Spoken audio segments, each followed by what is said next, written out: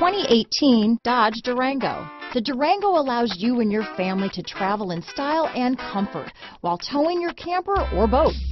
It offers more interior room and towing capability than most midsize SUVs and has an available third row of seating. Underneath are sturdy body-on-frame mechanicals and the option for a powerful V8 engine. This vehicle has less than 100 miles. Here are some of this vehicle's great options.